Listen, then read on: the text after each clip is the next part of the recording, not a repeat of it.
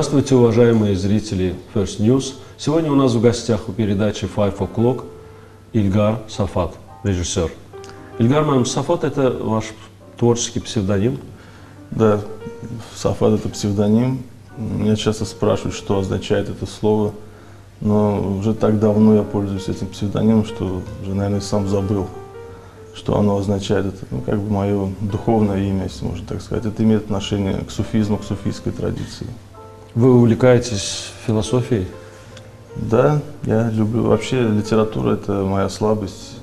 Я по первому образованию филолог. И как бы в, кино пришел после литературы, после занятия поэзией. Поэтому филология, философия, литература, художественная литература, поэзия – то, что я люблю, это моя как, первая любовь. Ильгар я э, одной из задач передачи Five O'Clock вижу э, ту задачу, что она должна представлять зрителям и публике не только широко известных людей, но и людей, которые, может быть, не так пропиарены, но, тем не менее, занимаются любимым делом, неординарные, интересные, как собеседники, и э, популяризируют Азербайджан.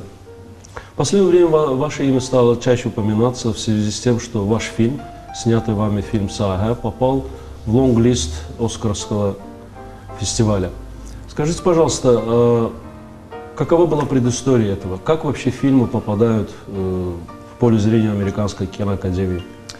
Э, ну, вы знаете, что кинопремия «Оскар» – это как бы сугубо американская премия, но там есть номинация, как бы осваивающая, охватывающая и международный кинематограф зарубежный. Мы проходим по категории «Это лучший зарубежный фильм». Но в каждой стране есть свой Оскаровский комитет, свои представители, во главе которого обязательно должен стоять киноакадемик, то есть человек, уже как бы имевший отношение с этой кинопремией, получавший Оскар. В Азербайджане тоже есть Оскарский комитет, его председателем является Рустам, наверное, Рустам Брагимбеков. Э, нам позвонили с этого комитета, предложили принять участие как бы, в рассмотрении э, в местном отборе. Мы показали наш фильм, и большинством голосов наша картина была признана как бы, лучшей и достойной для того, чтобы представлять Азербайджан вот э, в этом году на кинопремии. А если в какой-то стране нет человека, э, который получал Оскар или участвовал в этом фестивале, тогда как? Ну, как правило, такие люди находятся. То есть, значит, эти люди просто не участвуют э, в конкурсе. Потому что обязательно регламент определенно существует – довольно сложная процедура, нужно представить очень много документов э, туда, в центральный офис, главный офис комитета, там, послать копии фильма, там, организовать показ у себя в стране, в Лос-Анджелесе. Мы как бы все регламенты, все требования регламента прошли, и наш фильм показывался и здесь, в Азербайджане мы устроили э, коммерческий показ, и в Лос-Анджелесе у нас Буквально вот сегодня начался недельный показ нашего фильма. Просто нужно соблюдать требования регламента. А какова процедура? Вот на первом этапе фильм попадает в лонг-лист, да, потом он должен попасть в шорт-лист, из которого выбирают э, да. лауреаты, да? А что нужно для того, чтобы попасть в шорт-лист? Фильм показывается всем членам киноакадемии. Они его смотрят, оценивают, дают свою оценку, потом просто видим какой-то селекции внутренней отбирается вот эта вот э, пятерка избранных, шорт-лист. И, а потом уже на церемонии закрытия уже как бы весь мир узнает, кто из этих счастливых избранников как бы достоин премии «Оскара». Ильгар положа руку на сердце, вы верите в успех, верите в то, что азербайджанский фильм может пробиться э, в логове армянской диаспоры? Очень много факторов сопутствует. И как бы, попаданию фильма в этот шорт-лист. Ну, прежде всего, я думаю, что качество фильма должно говорить само за себя. от каждой стороны представлены наиболее достойные работы, их отсматривают, оценивают. Поэтому если картина произведет какое-то впечатление на киноакадемиков, на публику, наш фильм будут смотреть и простые американцы в кинотеатре. Ну, если будет какой-то резонанс, то почему бы и нет, шансы есть всегда. Э, До начала передачи мы с вами говорили на эту тему, и вы подчеркнули, что на фестивалях очень сильные идеологические моменты, и в качестве примера вы приводили случаи, когда э, российские фильмы, которые показывали Россию не самой лучшей стороны, они имели колоссальный успех, получали призы и так далее. То есть насколько э, сегодняшние кинофестивали свободны вот от этой идеологической подоплеки? Ну, видимо, время такое, все завязано сейчас на политике, на экономике. Мне кажется, фестивали утратили свою функцию такого какого-то ну, артистического института. Они приобрели свой формат, в каком-то смысле уже близкий к телевизионному формату. То есть как на телевизионные экраны не попадет фильм, не соответствующий, неадекватный этому формату. Но вы видите, что фильмы, которые демонстрируются на телеэкранах, они, в общем-то, однотипные. То есть есть определенный формат, канон, какой-то калька, м, которому, по которой фильмы снимаются и выбираются для ки- киноэкрана. Ну, нечто подобное, на мой взгляд, происходит сейчас и с фестивалями. Существует какой-то фестивальный формат. Не знаю, вот кем как заданный, диктуемый, но То есть художественная ценность произведения отходит на второй план, так получается? Сожалению. Видимо, да. Нет, я не, не хочу сказать, что талантливая работа не имеет шанса попасть э, на кинофестиваль, но существуют тенденции определенные. Мода, какие-то экономические сопутствующие моменты, политические, политическая какая-то мода, актуальность. Поэтому это такой цел- целый комплекс вопросов, м, которые как бы сопутствуют везению, что ли, попадания на кинофестивале. Герман, я еще такой вопрос хочу затронуть, и я говорил об этом и с другими своими гостями, имеющими отношение к творчеству. Э, Я вам благодарен за то, что вы пригласили меня на показ фильма «Сага». Спасибо, что Я не берусь судить о достоинствах или недостатках э, этого фильма, потому что я не кинокритик, и, наверное, каждый зритель должен вынести свое суждение. Но где ему, зрителю, выносить свое суждение, если у нас в Азербайджане сложилась такая практика, как я вижу со стороны? Фильмы снимаются, устраиваются пару закрытых показов, презентация, премьера, а потом они куда-то исчезают. Вы не находите? Ну, основная проблема в том, что нет, как бы, нет проката, нет кино, достаточного количества кинотеатров. Я просто вот на, как бы, на примере нашего фильма убедился в том, что в людях существует большое желание смотреть, смотреть наши фильмы. Но, к сожалению, пока нет такой возможности, потому что кинотеатров очень мало, ограниченное количество. И только в Баку, в районах кинотеатр практически отсутствует. Даже то, что осталось от советского времени, оно не соответствует техническим каким-то требованиям, параметрам. Вы помните, в советское время была такая практика, что даже, не знаю, микрорайоны приезжали какие-то кинотеатры на колесах, автобусы, и внутри них демонстрировались фильмы. Это просто для простых там, людей, которые, там, которых можно было увидеть на улицах. И в каждом селе, в каждом В городе. каждом селе был свой клуб. Ну, Да. прекрасно вот это было показано в фильме «Мимино», помните, там, Да. на вертолете м, герой Вахтанга Кабидзе приводит картину какое-то отдаленное горное селение, и там показывает фильм, еще комментирует, там, не знаю, выступает в качестве там, оператора. Ну, то есть была какая-то живая традиция, живой интерес, и у людей было желание смотреть эти фильмы. Нужно в каком-то смысле восстанавливать, реанимировать вот эту практику. Я уверен, что чем больше кинотеатров будет появляться в нашей стране, тем больше интерес, и, э, как бы это будет толкать индус- киноиндустрию вперед. Э, Ильгаман, я посмотрел фильм «Сага». Он скорее философский, чем коммерческий, да? Ну, Почему вы взялись, э, то есть вы заведомо, заведомо уже где-то немножко э, уменьшаете шансы на успех, потому что сегодняшний э, зритель требует больше коммерческого кино. Редкий зритель хочет задуматься, хочет подумать о вечных ценностях, о каких-то животрепещущих э, морально-нравственных проблемах. Э, Зрелище хочет зритель. А вы заведомо взялись за более глубокий такой фильм. Не боялись? Ну, спасибо за вашу оценку нашей работы. Ну, хлеба и зрелищ, в общем-то, это такой термин, который существует уже не одно столетие. То есть люди всегда стремились и тяготели именно к, этому, к этим категориям. Для того, чтобы не думать, наверное, существует телевизионный экран, телевизионный формат.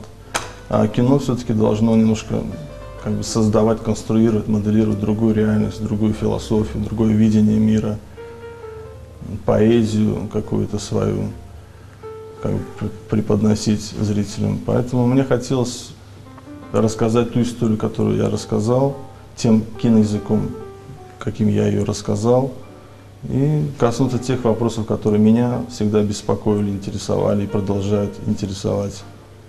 Ну, насколько это найдет отклик э, в людях, это такой момент немножко непредсказуемый, но я вижу, что картина, в общем-то, людей не оставляет равнодушными. Я не хочу сказать, что я совершенно не думал о зрительском восприятии, наоборот, мне хотелось донести свои идеи, свое, свое видение до простых, так сказать, зрителей, хотя, ну, зрителей нет простых и сложных, просто есть люди, которые смотрят кино. Насколько это получилось, я не знаю, это, в общем-то, судить, наверное, не мне. Ну, я, может быть, повторяю свой вопрос, я, я чувствую себя немножко дискомфортно, потому что мы сейчас говорим о фильме, и, наверное, зритель, посмотрев передачу, захочет посмотреть и фильм чтобы самому вынести свое суждение. И опять-таки он не может этого сделать. Да? То есть фильма нет ни на дисках. Нет, почему же мы Есть? организовывали недельный показ, вот как я только что сказал, в кинотеатре Азербайджан осенью этого года. И люди ходили, покупали билеты, как в старые добрые времена, смотрели картину. Ну, конечно, это не имело такого обширного, широкого резонанса, потому что все как бы замыкалось на одном кинотеатре, именно как бы на, в Баку. Короткий период. Короткий период. Еще время было не очень удачное, это было 5 часов. Вечер. А на телевизионный экран не выйдет фильм? Ну, Практика фильм, какова? Как он только появился, я думаю, что, в общем-то, у этой картины все впереди. Я надеюсь, что и на телеэкраны выйдет. Картина только начинает жить, делать какие-то первые свои шаги.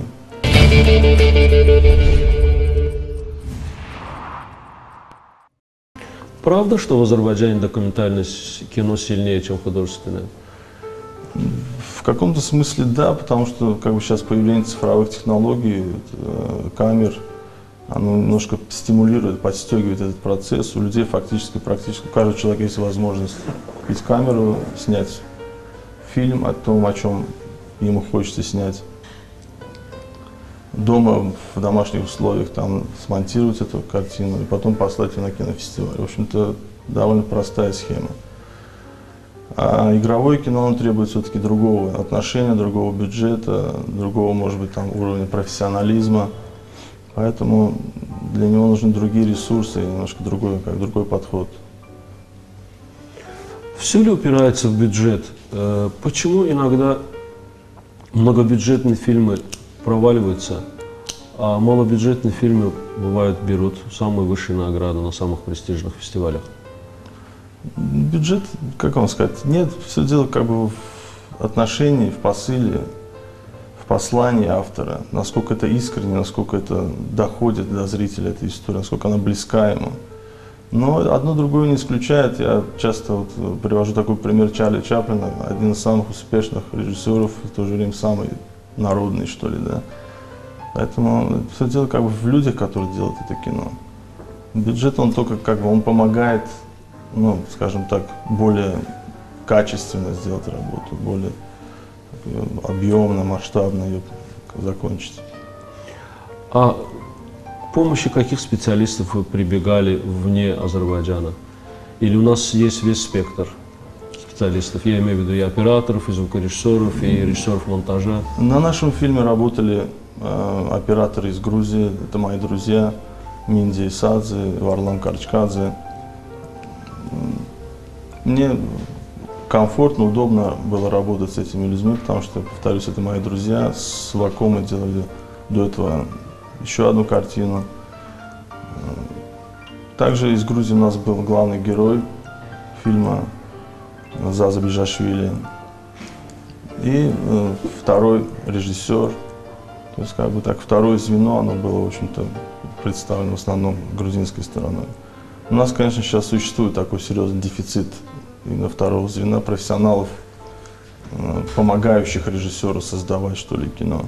Потому что вот и практически полностью отсутствует институт вторых режиссеров, а это сложнейшая профессия, это раньше просто, как сказать, это была отдельная профессия, потому что это начальник штаба, человек, помогающий режиссеру, организующий весь процесс, он должен понимать как бы, задачи режиссера так же, как и сам автор. Но сейчас, к сожалению, у нас большой дефицит и в этой, в этой профессии, и в ряде других профессий тоже. На нашем фильме грузины были как бы, э, сопродюсерами этого проекта. Грузия фильм и совместно с Нариман фильм это как бы сопродюсеры. Мы этот фильм разрабатывали вместе. Вообще э, как бы проект готовился в рамках ИФАСК, это тренингов ИФАСК, это была такая ассоциация независимых кинопроизводителей стран Южного Кавказа. Тренинги происходили в Тбилиси, проходили. Поэтому как-то Грузия очень органично влилась в этот проект. Ну и кроме того, дружеские связи, дружеские отношения. Э, Я не хочу обидеть ни вас, ни грузинских товарищей, но в любой стране есть э, практика приглашения зарубежных актеров, и такая практика всегда была и в Азербайджане, но я не всегда ее понимал, честно говоря, не всегда с пониманием относился. Вот в частности в фильме Ахмед Харда, да, если вы помните, там главная героиня тоже играла э, приглашенная актриса. И вы пошли этим путем, вы пригласили зарубежных артистов. Это значит, что у нас нет талантов или в чем проблема? В чем Нет, причина? не стоит зацикливаться, мне кажется, на гражданстве людей, которые делают фильм. Нужно больше заострить внимание на их профессиональном отношении, профессиональном уровне. То есть, если для главной роли нужен человек там, из Никарагуа, почему бы его не пригласить на этот фильм? То есть это режиссерское видение, да, ваше? Ну да, это режиссерское видение. Почему там Гамлет играл там Высоцкий, а не английский какой-нибудь там, или там датский артист, да? Понимаете, дело абсолютно не в национальности не в гражданстве, а просто в каком-то, ну, в соответствии образа, в какой-то психотипе героя, насколько он органично и, э, скажем так, по своей пластике, по своему актерскому диапазону подходит на ту или иную роль. Я думаю больше вот об, об этих да, составляющих роли. То же самое касается и технической группы. да. Если оператор, если твое видение совпадает с видением оператора, то зачем спрашивать у него гражданство или там изучать его какие-то национальные там корни. В общем-то, это меня как-то не очень интересовало. Больше интересовало как бы соответствие, адекватность какая-то, конгениальность нашей задумки, нашей, нашему замыслу. А как, мне вот интересно было всегда, как режиссеры выбирают э, исполнителей главных ролей? Вот э, часто мы читаем там в литературе, кто-то шел по улице, вдруг кого-то увидел, понял, что это его типаж, и так далее. Бывает так, да. Бывает и так. Вот, например, я увидел, просто к нам пришел на студию э, подросток, парень, который ну, что-то принес, там, я уже не помню, то ли свой фильм, то ли там какой-то свой сценарий. Я увидел, что этот, этот человек должен играть в нашем фильме, это Анар. И он сыграл действительно одного из этих вот хулиганов этого Акифа. Поэтому я просто увидел своего героя, буквально он сам пришел ко мне. Ну, кого-то, когда, знаете, как-то люди по-разному, судьба по-разному приводит людей на проект. Кого-то приходится долго, мучительно искать, кто-то сам вдруг появляется как бы из ниоткуда. А вот как вы вышли на главного героя? Вот как раз главного героя очень долго и мучительно я искал, потому что мне нужна была какая-то вот э, такая природа, немножко какая-то разорванная, такая немножко конфликтная природа главного героя должна была быть. И я проводил кастинг, отсматривал очень много артистов со всех практически стран нашего региона. И вдруг увидел Зазу, и сразу понял, что вот-вот и это и есть главный герой нашего фильма. Какая-то, что-то в его лице мне показалось, какая-то раздвоенность, что ли, какая-то, ну, как сказать, какой-то человек с, с каким-то, с какой-то биографией, такой, да, своей, своей историей, с каким-то оборотной стороной. То есть то, что мне нужно было для, именно для персонажа Гариба. Внутренняя противоречивость, какая-то нерв. И Заза я ему очень благодарен, он как раз принес вот эту краску, эту эмоцию в нашу картину. То есть он оправдал вашу надежду. Да. Гармам, э, в этом фильме Гариб э, играет роль худо- э, фотографов, которые снимают в стиле ню. Да. И вы пригласили чернокожую актрису. Как мне показалась, вся роль которой заключалась в том, что она позировала обнаженной фотографу Ну, не совсем. Все-таки это как бы его тайная любовь, и там драматургически она завязана на конфликте между им и его невестой. Речь идет о том, что между главным героем и вот этой моделью были какие-то от- отношения. Поэтому здесь не только. Не, а почему именно чернокожий? Это что, политкорректность или это какая-то пикантность, изюмика фильма? Нет, просто наш герой, как вы видели, он увлечен вот именно как архаикой, первобытным искусством, наскальной живописью. У нас, э, вы помните, там речь идет о Гобустане, петроглифах Гобустана. Вот этот архетип, образ матери мира, э, о которой тоже говорит и учитель главного героя в советское время. То есть вот этот как бы образ, именно вот архетипический образ какой-то такой матери мира, э, ума и какой-то такой, да, э, первобытной женщины, какой-то внутренней женщины. Поэтому мне нужна была именно такая вот э, актриса, такая модель, которая соответствовала бы полностью вот этой, вот этой характеристике. И, по-моему, Дебора, она очень так хорошо подошла для этого. А из какой страны она?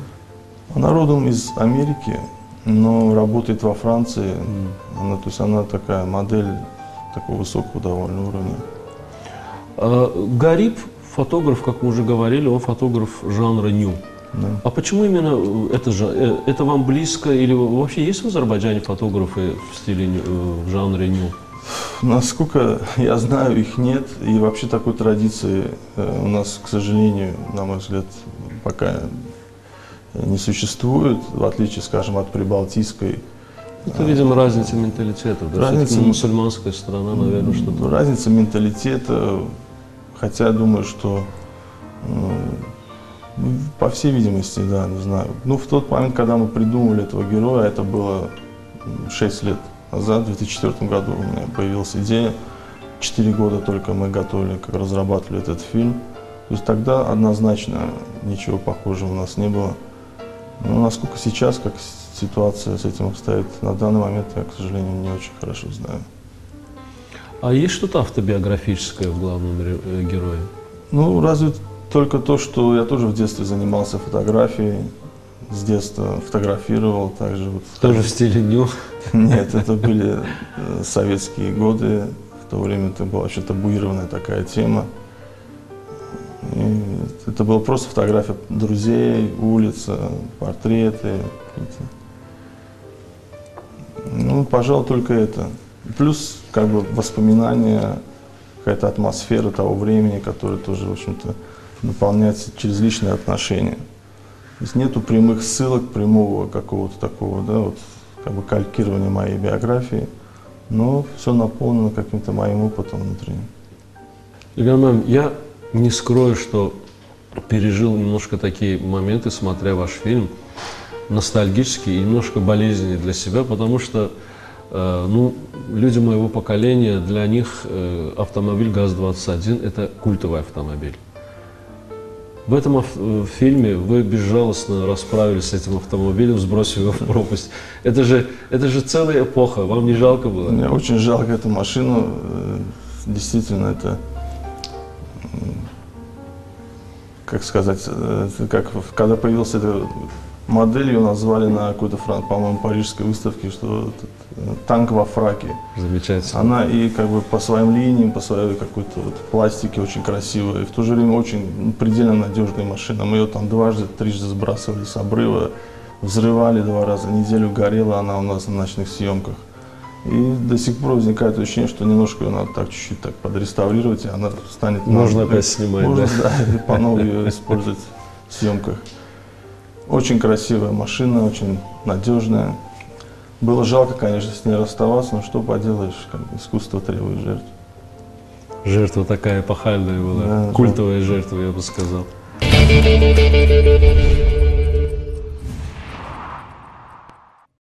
Ильгам, э, как вы оцениваете состояние азербайджанского кинематографа сегодня? На- Есть свет в конце туннеля? Или это Свет- свет надвигающегося паровоза? Нет, свет есть, думаю, что это не паровоз. Мне кажется, очень такие позитивные тенденции сейчас происходят в азербайджанском кинематографе. Именно одним из таких показательных факторов является то, что большое количество дебютов за последние буквально лет пять произошло, случилось. То есть люди получили возможность, молодежь получила возможность как-то проявить себя, реализовать. Потому что, знаете, сетовать на э, отсутствие возможностей, как бы считать себя не реализовавшимся талантом, в общем-то, достаточно просто. А когда тебе дают шанс что-то сделать, это уже как другие требования, другой уровень ответственности возникает. И молодежь снимает фильмы, очень достаточно интересно о себе заявляет. Это очень позитивно. Нельзя, наверное, отрицать, что э, кинокритика очень важна для поляризации и развития кино. Но есть ли в Азербайджане кинокритики? Вот вы чувствуете нехватку квалифицированного, профессионального, критического разбора ваших, ваших работ?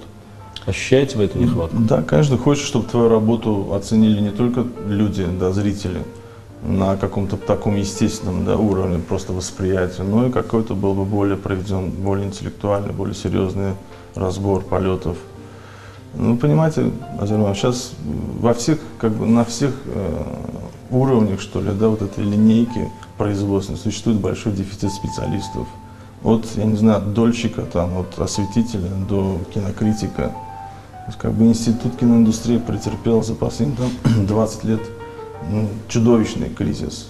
Потому что киностудия, она, на моих глазах, я в 89 году э, устроился на работу в киностудии. Моя вообще первая, в трудовой книжке первая запись, это связано с киностудией Азербайджан фильм. И тогда была другая студия, понимаете, она живая была, она кипела, съемочный процесс там происходил, то есть коридоры были заполнены людьми, было ощущение вот какого-то, ну, как сказать, такого процесса, процесса живого организма. А потом, опять же, на моих глазах за какие-то несколько лет просто все разрушилось, все исчезло. И специалисты, и люди, и все, атмосфера, все. И теперь нужно создавать, как возвращать, и людей нужно возвращать, и профессионализм, отношение к профессии нужно возвращать, потому что, что говорить, в общем-то, такого трепетного, что ли, да, отношение к профессии, какое было, скажем, там, в советское время, я имею в виду профессию режиссера. Сейчас нет. Как бы возникает ощущение у людей, что просто можно прийти и снять фильм. Для этого не нужно иметь какой-то там опыт, какую-то практику, какой-то общекультурный багаж. Достаточно просто купить камеру и снимать фильмы. к сожалению, это не так, потому что это требует, в общем-то, целого такого комплекса факторов. А почему российское кино так развивается бурно? Российское кино развивается там база хорошая. Бурно, но в последние годы, к сожалению, вот этот процесс, динамика развития там тоже затормозилась вот, в связи с кризисом. Но они больше в коммерческое, да, кино ушли, по-моему? Нет, почему же? Там, Нет? в общем-то, как бы все жанры так охвачены. В 2002 году, когда я закончил высшие режиссерские курсы в Москве, я учился в мастерской Владимира Хотиненко – индустрия, вот Мосфильм, он представлял собой такое зрелище, какое вот сейчас Азербайджан фильм представляет. То есть коридоры тоже были пустыми, там снимались какие-то только телепередачи, что-то вроде там кукол, я не знаю, каких-то вот таких нелепых э, передач. Не было ничего. Когда я уехал в 2002 году, то есть было ощущение кризиса. Через два года я вернулся, я увидел просто другой Мосфильм я увидел другую, как-то другую киносреду. Появились фильмы, появилось новое поколение, стали сниматься сериалы в неограниченном количестве, авторское кино. То есть за два года был проведен какой-то очень глобальный, фундаментальный прорыв. И где-то до 2008 года вот так оно и было. То есть очень на взлете, да? На взлете было, да. Ну вот за последние года два-три что-то изменилось, немножко как бы вот темпы снизились. Но а зато за эти годы она окрепла, индустрия в России. Она встала на ноги, и, в общем-то, сейчас это помогает ей выжить вот, вот, в кризисный период. Я ожидаю в Азербайджане что-то подобное. Я думаю, что вот за года два-три последние очень такая мощная какая-то вот набрана динамика развития. Посмотрите, сколько фильмов. Сейчас уже около 10-12 фильмов снимается в Азербайджане. Это для нашей республики немало. из них там половина дебюта, как я говорил. То есть кино, я думаю, что все как бы вернется на круги свои.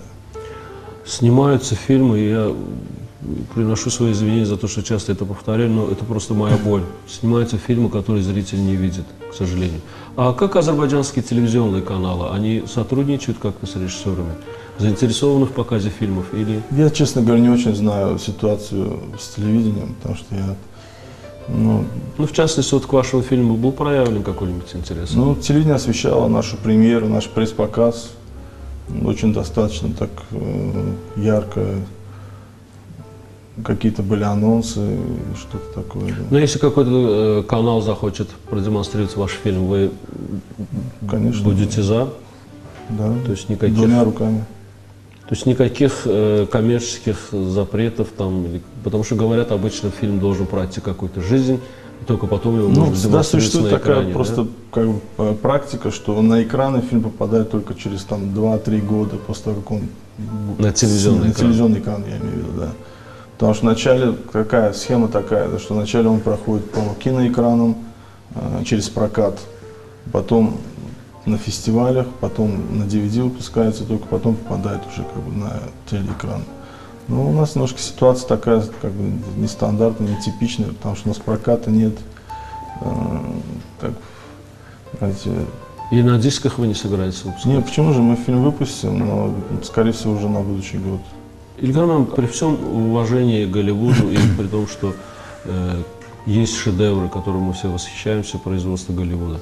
Но вот это засилие голливудское, оно меня как зрителя не устраивает, потому что я человек советского времени, я вырос на итальянских, на французских фильмах. Ну, вы помните, э, в Италии были сильные позиции Компартии, во Франции были сильные Компартии, и идеологически как-то Советский Союз больше дружил Да, с да, да. Италией, с Францией, а Америка была идеологическим врагом, и американские фильмы очень редко доходили до нас.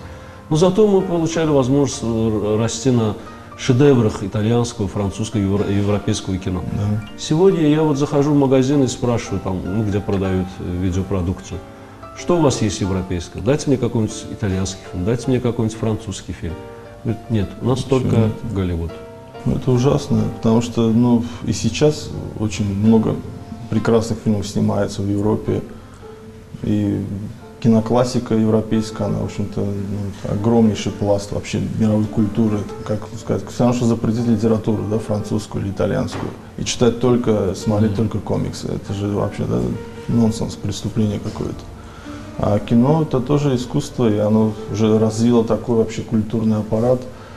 Ну, То есть столько всего было наработано да, в европейском кинематографе, в азиатском кинематографе. Даже не, речь не столько сугубо о европейском кинематографе, а вообще о общемировом, потому что и азиатское кино очень много сделало для развития кинематографа. И там есть великолепные э, режиссеры, тоже и философы, поэты от кинематографа, которых ну, никто не знает, к сожалению, даже в этих же самых странах.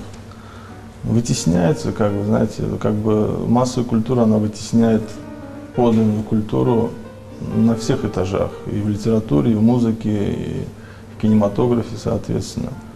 Как если взять в качестве примера классическую музыку, вы видите, что сейчас невозможно услышать классическую музыку практически, да, нигде там. Только на специализированных радиостанциях и в каких-то очень ограниченных таких, да, местах.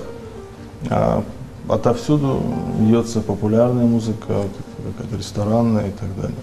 А на каком кино вы формировались? Вот я, к счастью, тоже формировался на классическом кинематографе. И поэтому я, как сказать, для меня кино это прежде всего как форма искусства. Не аттракцион, грубо говоря, а именно как, бы, ну, как, как искусство. А есть какая-то школа, которая вам ближе по духу, вот, допустим, итальянская, Наверное, французская или там азиатская вы упомянули? Скорее итальянское все-таки. Итальянское. Да. Ну хотя По своей экспрессии или... Да, да, по своей экспрессии это как-то и близко нам было всегда, да, по темпераменту, по колориту. Да, это тоже А вот интересно, кого из итальянских э, артистов, можно и из прошлого, и из настоящего, кого вы хотели бы снять? Кто вам интересен как актер был бы? Из ныне живущих вы имеете в виду? Без разницы. Я хотел бы, например, Челентано снять. Мне, мне он очень нравится. Да. Он сильный актер или он Нет, певец почему? больше, да? Ну нет, он и Не, я актер спрашиваю. прекрасный, и музыкант, и вообще как фигура. То есть это, как сказать, это, ну, это человек, который привносит своим, как бы, своим фактом появления на экране уже привносит какой-то свой мир, да, обогащает. А интересно, смог бы Челентано сыграть драматическую роль? Как вы думаете? Думаю, что да. Да? да. Ну, знаете, это во многом от режиссера зависит. Ведь э, Как да? Допустим, Андрея Миронова никто не воспринимал как драматического артиста до того момента, пока он не появился в фильмах там Германа, э, мой друг Иван Лапшин. И мы увидели вообще другого Миронова совершенно. То есть человек с такой глубиной, с таким, с такой вообще, да, каким-то наполненностью, содержательностью. А И Никулину можно привести Никулин, пример. опять того же Германа. Сейчас Ярмолик снялся у Германа. Я, честно говоря, был потрясен, увидев человека, которого мы привыкли видеть клоуном в такой роли. Как он сыграл Да, потрясающе. Так что это, как бы сказать, режиссер, э, одна из его задач снимать маски с актера, то есть ломать штампы, показать его в том ракурсе, да, в, в той, с той характеристикой, которая не, была бы неожиданна для зрителя. А Челентано прекрасный артист. А бывает на съемочной площадке, что режиссер, э, видение режиссера одно, а э, у главного героя, у актера другое видение, и оно перевешивает. То есть удается, допустим, актеру переубедить режиссера, что вот здесь надо сделать по-другому. Я считаю, что вообще, м, понимаете, как бы нет такого, да, вот э, одного какого-то закона, что ли, да, для съемок фильма. Я считаю, что режиссер должен приходить на площадку абсолютно подготовленным, знать точно, что он хочет снять, где должна находиться камера, кто должен быть в То кадре. есть нет места импровизации. По сути нет, но э, как бы мастерство еще проявляется в том, что ты, если ты видишь что-то яркое, интересное, дополняющее, обогащающее твой фильм, но как бы не разрушающее твой замысел, ты должен допустить актеру, там, оператору, композитору проявить себя.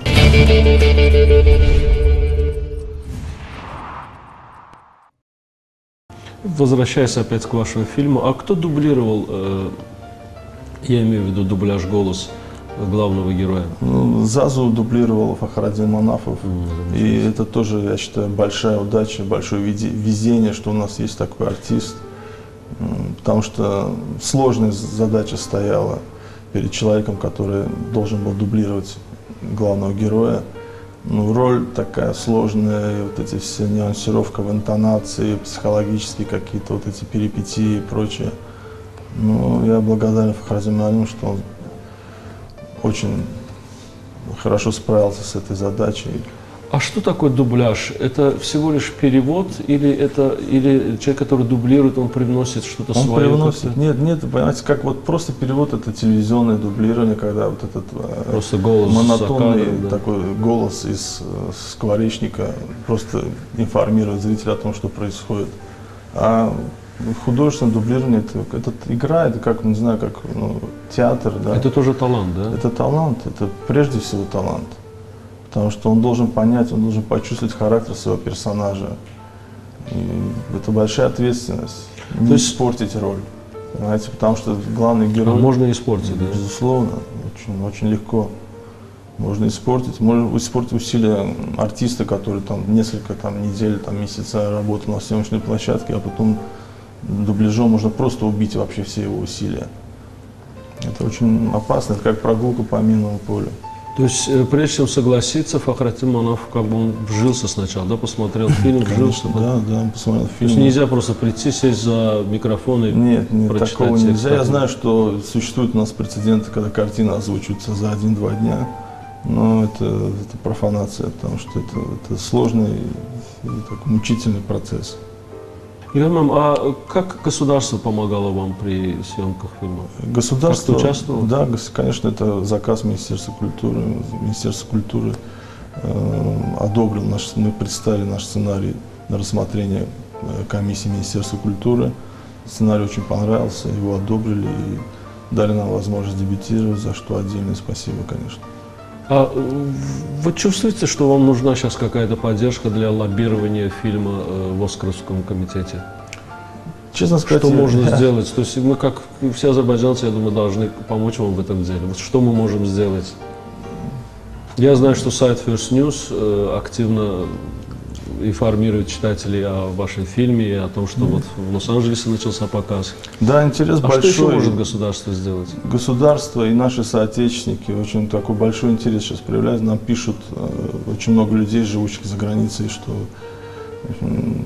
с такой с гордостью и надеждой ожидают там решения комитета. Это очень приятно поддерживают, пишут слова благодарности. Что можно сделать? Я затрудняюсь на это. Держать кулаки за? Просто, ну, как доброжелательно относиться, наверное, к тому, что мы сделали прежде всего. Потому что, ну, это большая работа, большой труд. И, мы это Нет, э, как у нас говорят, üzünüze demir olmasın, но то, что я в этом вижу больше, чем пропаганду нашего э, кино, я вижу в этом политические какие-то аспекты, потому что э, когда в Лос-Анджелесе, где буквально засилие э, армянской диаспоры, и то, что в Лос-Анджелесе в одном из кинотеатров, по-моему, Sunset Five называется Sunset кинотеатр, Five, там да. идет, висит афиша, что здесь демонстрируется азербайджанский фильм. Я думаю, что это замечательно, и это очень служит интересам нашей страны и разрушению стереотипа, что Азербайджан это, ну, то, что пропагандирует Армения, что Азербайджан это отсталая страна, не, не, не способная создать что-то стоящее. Я с этим вас очень поздравляю, с этим спасибо, событием, спасибо большое. Ну, кинематограф вообще-то один из таких, знаете, очень сильных инструментов э, идеологии, Пропаганды, пропаганды. идеологии. Да. Вы видите, например, вот американский кинематограф. Вначале появляются фильмы американские, а потом появляются товары американские. То есть засилие экономическое, оно происходит всегда через какое-то вот такое да, культурное. Поэтому ну, надо просто больше создавать э, фильмов, больше показывать, рассказывать о нашей жизни, о наших людях, потому что, ну, как сказать, мы имеем свою уникальную, самобытную, там, многовековую культуру, м, которую, к сожалению, не можем зачастую так достойно преподнести мировому зрителю. Ну, это, конечно, обидно, несправедливо, нужно просто работать над этим. Я думаю, что нам надо научиться э, разрабатывать обертку. Потому что начинку мы можем делать, потому что у нас э, и богатая история культурная, и богатые традиции. Но мы не умеем как будто э, вот, э, обернуть и- преподнести, и, да. преподнести. Вот с этим у нас, по-моему, немножко проблемы. Ну, в данном случае вот эта вот скромность, она ведет в никуда. Да, Нужно немножко надо быть нескромным, да? Не и то, что нескромным. Говорить о себе, заявлять Просто о себе. рассказывать, да, информировать. Люди же, как сказать, все страхи, комплексы и предубеждения возникают от незнания. От не, просто незнания. Вот, вот только что вы рассказали о, э, наших там российских друзьях, которые впервые приехали в Азербайджан, и вообще не знали, куда они едут. Просто, ну, когда они увидели, что они приехали вообще в другой, не тот город, куда они ехали, они увидели, что насколько здесь по-другому живут люди, какое другое отношение, вот это все. Тепло. И динамика развития, это все наших гостей, Да, да, да, конечно, поражает в хорошем смысле. Ильгар, я очень вам благодарен за то, что вы сегодня пришли на нашу передачу. Я думаю, что я выражу мнение всех зрителей, всех, кто болеет за Азербайджан. Мы будем держать за вас кулаки. И мы очень желаем, чтобы вы, ваш фильм, вернее, Спасибо. попал в шорт-лист Оскаровского фестиваля, потому что это даст вам право присутствовать э, в зале, в кинотеатре. «Кодек», пройти по красной дорожке. Я был бы очень горд, увидев вас на этой красной дорожке. Спасибо большое. А если вы завоюете Оскар, это будет, конечно, потрясающее событие в жизни Азербайджана. Спасибо Я большое. искренне желаю вам успеха, удачи вам и думаю, что мы еще с вами увидимся. Спасибо. Вам спасибо. Спасибо.